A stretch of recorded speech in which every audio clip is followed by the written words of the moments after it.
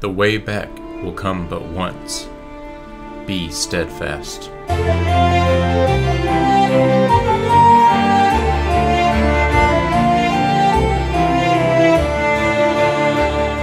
So hello everyone, welcome to my channel. This is Fantasy Talk. My name is Chase, and today I am doing the accepted test book tag.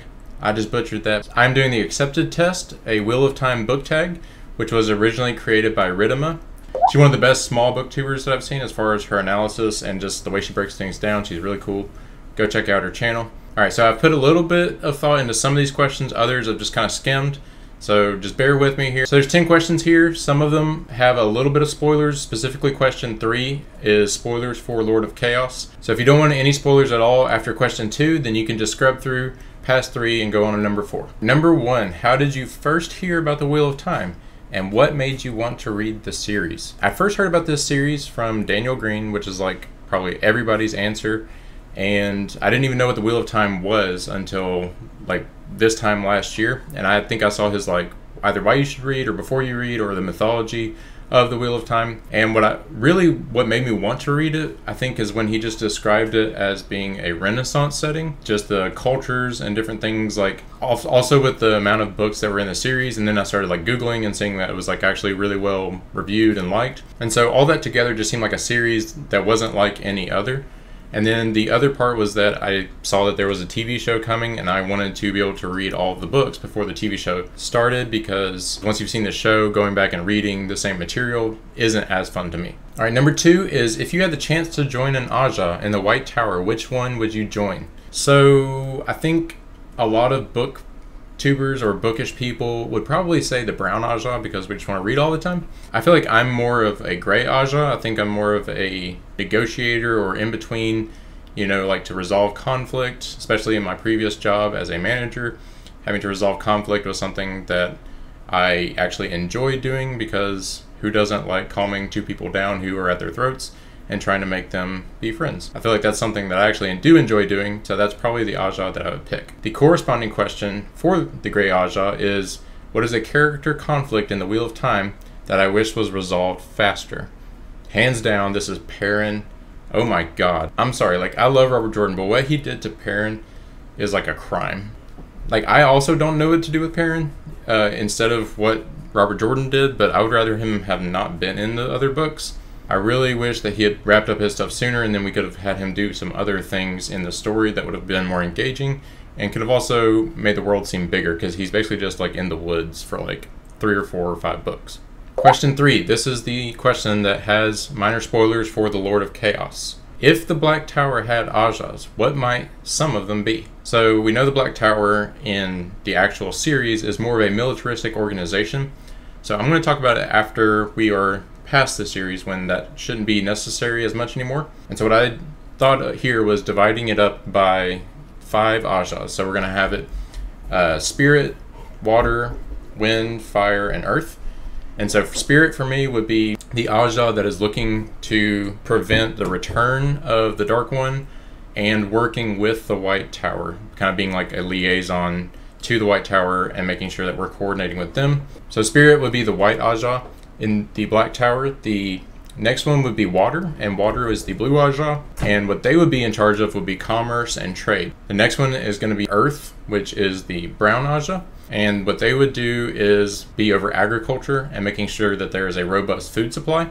Then we have the Gray Ajah, which is going to be wind, and what they're going to be in charge of is controlling weather patterns, trying to make renewable energy, and just doing more research into start generating electricity. We can move forward with the industrialization that we saw Rand trying to put forward by establishing universities and things like that. And then lastly, we've got the Red Ajah, which is going to be fire, and what they're going to be in charge of is warfare. So they're going to be kind of like the Battle Ajah from the White Tower, so they're going to be in charge of training all Asha'man in at least basic combat weaves, and then also looking at the Seanchan in case they decide to attack again. Number four, who's a character you love but would hate to meet in real life? I think that Rand is actually the one that I wouldn't want to meet in real life because, like, he's a great character to follow.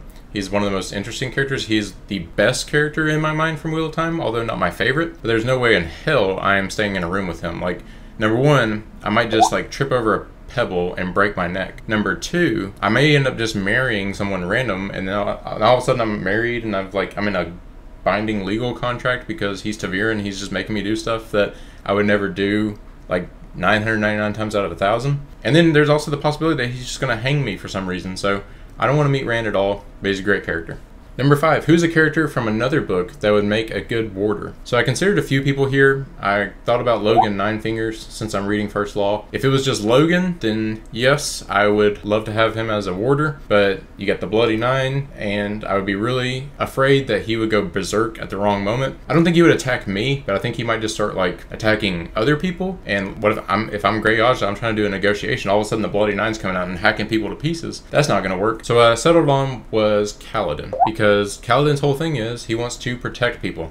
Now, yes, you could say that he's not very good at it, and yes, you, you have a point, but I know that Kaladin is going to agonize over making sure that I am always safe. And while that could be a little annoying, the whole point is that he's going to protect me. Number six is what's a scene from the books that you're excited to see on screen? So there's a ton of them, but spoilers for Gathering Storm. Laying it out there. Spoilers for Gathering Storm.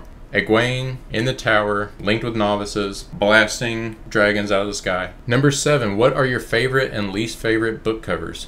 All right, so I've got these pulled up here. So we all know that Eye of the World is classic. It's beautiful.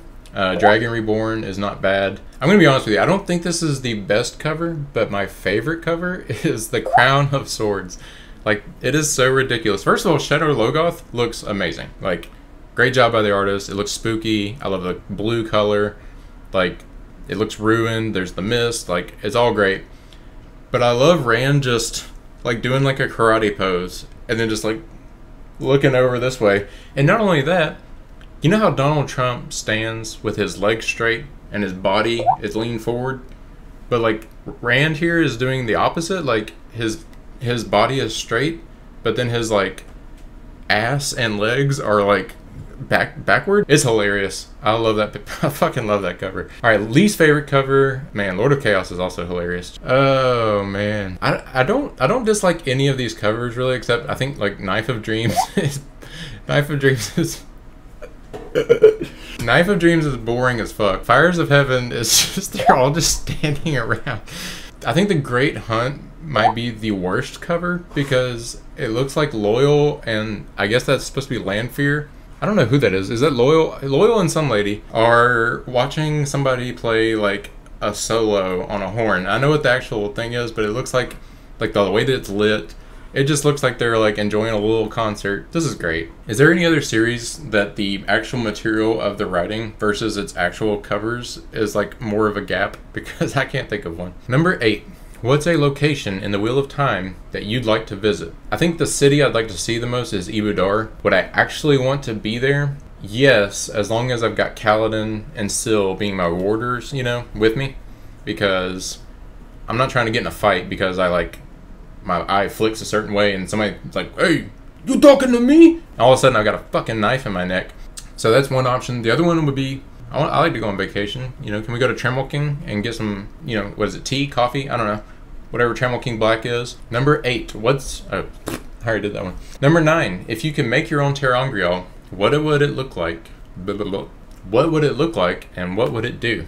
I love basketball. I love playing basketball. But one thing I've never been able to do is dunk because I can't jump over a phone book. And so what I, my ter'angreal would be would be like a metal Boston Celtics logo, you know? And then it would allow me to jump really high and dunk a basketball. I you know I can't think of anything that's more important than that. Number 10, what's another book or a series you think Wheel of Time fans might like? So everyone's going to say Stormlight and they're correct. Uh, I'm going to go with The Shadow of What Was Lost. Uh, first book of Licanius trilogy. It doesn't have the same character depth of the Wheel of Time, so if you're like a full on, I have to have like the most deep characters of all time. Uh, that may not be for you, but the world is kind of like a really cool twist on the world of the Wheel of Time. They even have like an Aryth Ocean, and I'm pretty sure, like in my head canon, that the world of Shadow of What Was Lost is actually the Seanchan continent, but like in a future age. And there's the Aryth Ocean on that side, and then there's Randland. Magic system is kind of similar to the Wheel of Time, but it has its own twists. Where magic users, like the male channelers in Wheel of Time, how everybody's scared of them and hates them, uh, it's kind of similar to the Gifted in The Shadow of What Was Lost, where they are kind of shunned and they're like a second class citizen. If you want like a really fast paced version of a twist of Wheel of Time, uh, which it still has good characters. It's just not. Don't expect to get like Ram, Mat, Nynaeve, and Moiraine and Egwene. And that's it. I did it. So y'all let me know if I passed my accepted test so I can take off this novice white. This was a lot of fun. Check out my channel. I just posted a video the other day of some stand-up comedy based on the Mistborn series. So if you like Mistborn and you like comedy, I'll put it right here. You can go watch it. Thank y'all for watching. See y'all next time. Peace.